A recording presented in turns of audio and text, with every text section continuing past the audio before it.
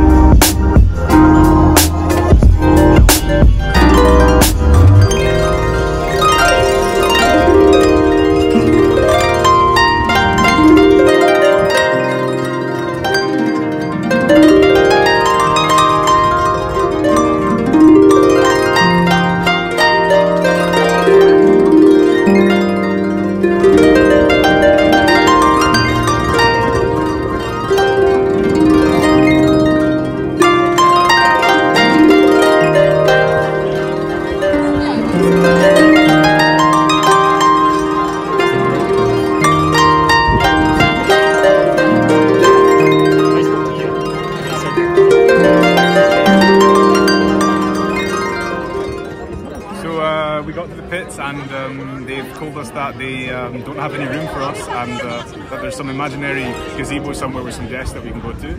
Uh, cars booked up till past six, so we're going to have to ask some uh, unis that have taken up half the bloody garage for a little bit of room maybe and uh, if we get lucky we'll uh, get something done today. Sorry.